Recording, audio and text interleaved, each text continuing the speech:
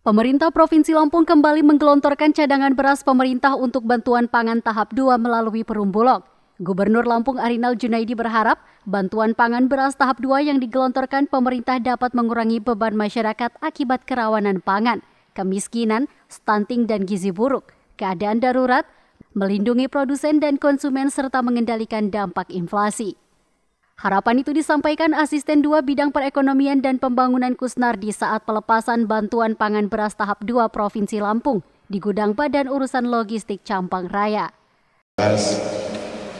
CBP dan pelaksanaan bantuan pangan dilaksanakan selama tiga bulan dengan alokasi di bulan September, Oktober, dan November.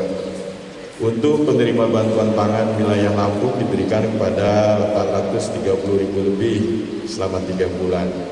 Di antara antaranya di Kota Bandar Lampung 65.303 KK, Kabupaten Pringsewu 40.490 KPM dan Kabupaten Pesawaran 52.967.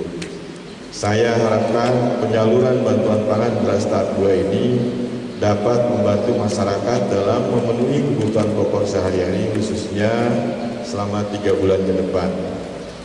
Untuk Perumbulog, saya harapkan dapat menjalankan amanah penyaluran bantuan pangan beras ini dengan baik, serta tetap dapat terus melaksanakan program SPHT, SPHP atau stabilisasi pasokan dan harga pangan dengan menggelontorkan beras di pasar. Dengan paduan pelaksanaan program bantuan pangan dan SPHP ini diharapkan dapat membantu mengendalikan harga beras di pasaran sehingga masyarakat Lampung tidak perlu khawatir. Sementara itu PLT Pemimpin Wilayah Bulog Provinsi Lampung Nurman Susilo mengatakan untuk Provinsi Lampung, bantuan pangan beras akan didistribusikan sebanyak 8.307.890 kg per satu bulan alokasi sehingga total yang akan dialokasikan selama tiga bulan yaitu 24.923.670 kg. Perumbulok kembali diamanahkan oleh pemerintah untuk melaksanakan program bantuan pangan beras tahap 2 Program ini merupakan kelanjutan dari program bantuan pangan sebelumnya yang telah dilaksanakan untuk alokasi bulan Maret, April, dan Mei.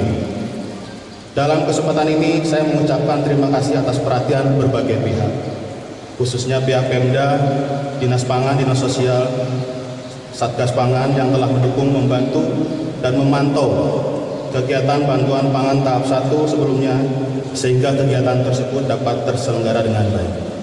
Dari Bandar Lampung, Noprian Haryanto, Saburai TV melaporkan.